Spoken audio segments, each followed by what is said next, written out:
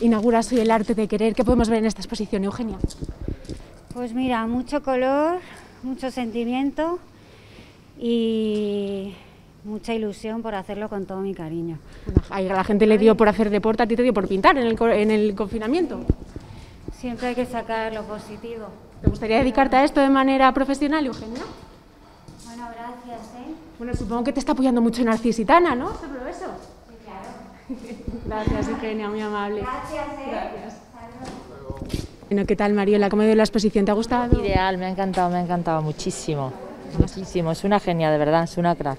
Además, algo benéfico, ¿no? Tan importante en estos momentos. Sí, sobre todo la labor que hacen Pilar, la presidenta con la Fundación de estos niños y de, y de bueno pues de todos los que tienen problemas neurológicos que es importantísimo que sepamos y tengamos información de todo por supuesto pero en esto en especial pues nada ahí he estado y ya me lleva mi cuadrito y lo recomiendo porque ya no quedaba ni una lo ha vendido prácticamente todo. Y me, me encanta que me haya invitado Eugenia la verdad que me encanta que haya utilizado su arte y su tiempo de la cuarentena para ayudar a otros me parece maravilloso.